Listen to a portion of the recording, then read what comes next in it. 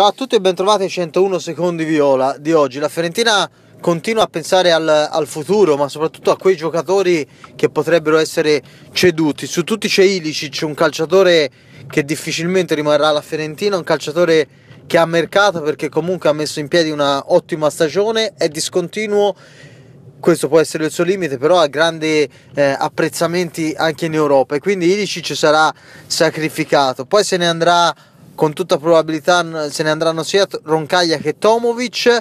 Eh, la Fiorentina ripartirà da alcune cessioni importanti e non è assolutamente detto, anzi, eh, la notizia che vediamo è che molto probabilmente non sarà riscattato Teglio, che costa tanto, 8 milioni di euro, eh, sul quale la Fiorentina ha comunque qualche riserva. Molto dipenderà in questo senso dalla permanenza o meno di Paolo Sosa, perché l'allenatore che allenerà la Fiorentina il prossimo anno dovrà dire assolutamente la sua. Però Teglio difficilmente sicuramente sarà riscattato per una Fiorentina che cercherà di fare un gruzzoletto per intervenire finalmente sul difensore centrale e su un paio di esterni difensivi importanti. Poi per quanto riguarda gli altri se ne torneranno in tanti a casa, chiaramente Benaluan, chiaramente Tino Costa, chiaramente tutti quei calciatori in più che hanno fatto male, malissimo alla Fiorentina. Anche a centrocampo i Viola avranno bisogno di rinforzi perché ci sarà un assalto inevitabile a Vessino, la Fiorentina cercherà di trattenerlo a Firenze, ma di fronte davanti ad un'offerta davvero